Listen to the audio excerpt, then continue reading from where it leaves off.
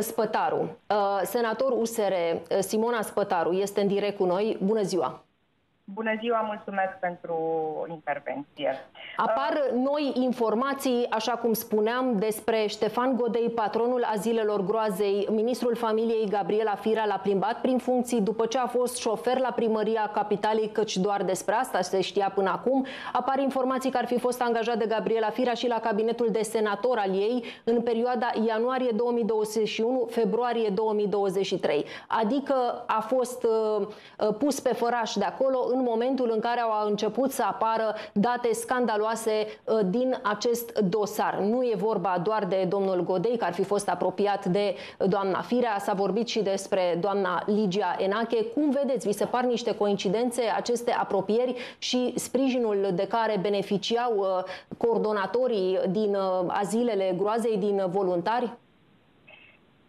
Haideți să nu vorbim uh, despre coincidențe, dar haideți să vorbim despre fapte și acte care apar. Această încregătură din jurul ministrului Firea nu poate fi dată la o parte, așa cum încearcă să generalizeze uh, colegul de la PSD de platou.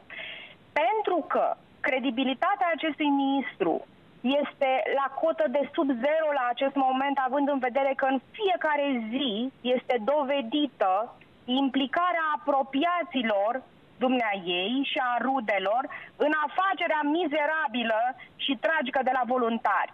Deci nu se poate să spuneți dumneavoastră, domnule de la PSD, că nu sunt situații uh, similare în țară. Dacă sunt situații similare în țară de focar de infracționalitate în jurul unui ministru, să faceți grav. bine să faceți bine, să le scoateți la iveală și să dați pe acei miniștri la o parte, dar rapid, foarte rapid. În privința doamnei Firea însă, la acest moment, vă cer încă o dată responsabilitate politică, cum am cerut și pentru domnul Budăi de când am aflat că a, avea cunoștințe prin acte despre uh, lucrurile care se întâmplă la zile și nu luase nicio măsură.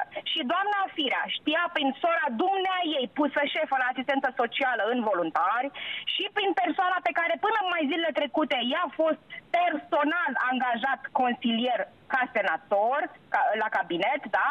Iată, și doamna soră cu ghilimele de rigoare pe care o are de 30 de ani după dumnea ei, prima consilieră, da, și în calitate la, la, ca ministru al familiei, despre ce discutăm? Ne, ne, ne plimbați de colo-colo, poate, poate oamenii vor uita. Nu e nimic de uitat. Doamna Firea nu mai prezintă responsabilitate uh, și credibil, iertați-mă, credibilitate pentru a mai fi în acest